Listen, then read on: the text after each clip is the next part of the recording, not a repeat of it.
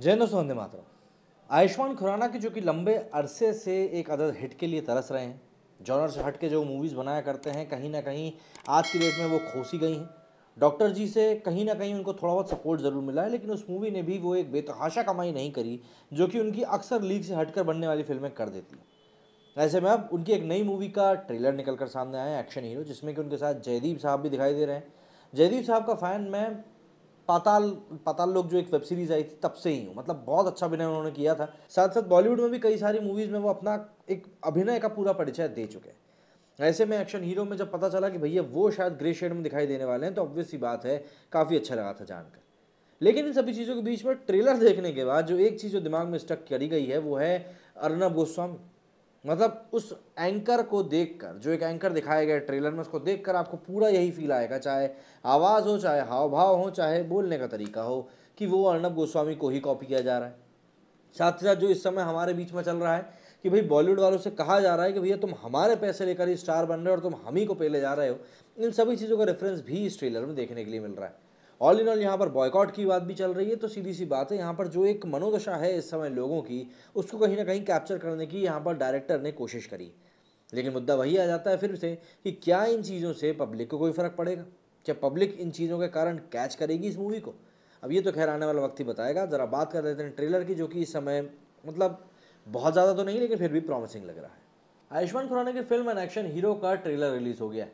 काफ़ी समय से इस फ़िल्म को लेकर आयुष्मान ने सस्पेंस बनाया हुआ था। ट्रेलर में काफ़ी एक्शन है क्योंकि एक्शन हीरो पर ही बनी। फ़िल्म में आयुष्मान खुराना हीरो के किरदार में है। ट्रेलर की शुरुआत होती है आयुष्मान से, जो गाड़ी में बैठे होते हैं। तभी उनकी गाड़ी पर हमला होता है और उन्हें मारने आ जाते हैं जयदीप अहलावत, जो कि फ़िल्म में एक म्यूनसिपल काउंसलर का किरदार निभा रहे हैं। जयदीप अपने भाई के मौत के लिए आयुष्मान से बदला लेने आते हैं क्योंकि आयुष्मान पर उनके भाई को मारने का आरोप है। आयुष्मान, जो कि एक आलिशान ज़िंदगी जी रहे होते हैं, फिर एक क्रिमिनल की तरह सबसे छिपते छिपाते परेशान हो जाते हैं और वहीं उनके फैंस अब उन्हें बॉयकआउट करने की डिमांड करने लगते हैं। मतलब जो लोग एक तरफ़ उनके आगे पीछे घूमा करते थे, अब वही लोग उनको मारने के लिए घूमने लगते हैं। फ़िल्म में काफ़ी सारे एक्शन सीक्वेंस हैं। आयुष्मान इसमें काफ़ी एक्शन करते नज़र आ रहे हैं।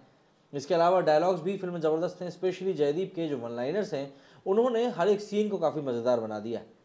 ट्रेलर को देखकर क्लियर है कि इसमें चूहे बिल्ली की दौड़ दिखेगी।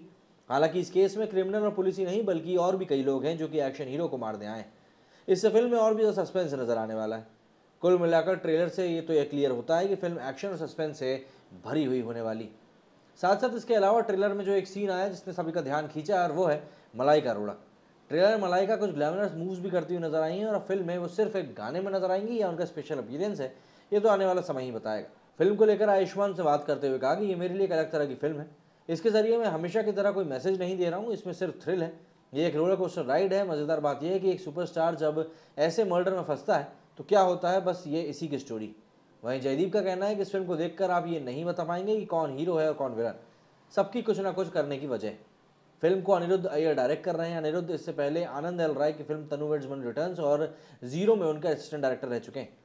रिलीज़ डेट की बात करें तो फ़िल्म दो दिसंबर को रिलीज़ होने वाली है तो ऑब्वियस सी बात है, इस मूवी के लिए ज़्यादा इंतज़ार करना नहीं पड़ेगा, महीने भर से भी कम का समय बचा है। लेकिन हाँ आयुष्मान खुराना एक नए पैकेज में क्या चीज़ लेके आने वाले हैं, ये देखकर बिल्कुल सरप्राइजिंग एलिमेंट रहेगा, क्योंकि जो इस समय जैसे कि मैंने बताया मनोदशा जो इस समय चल रही है उसको बिल्कुल यहाँ पर कैप्चर करने की कोशिश करी उन्होंने।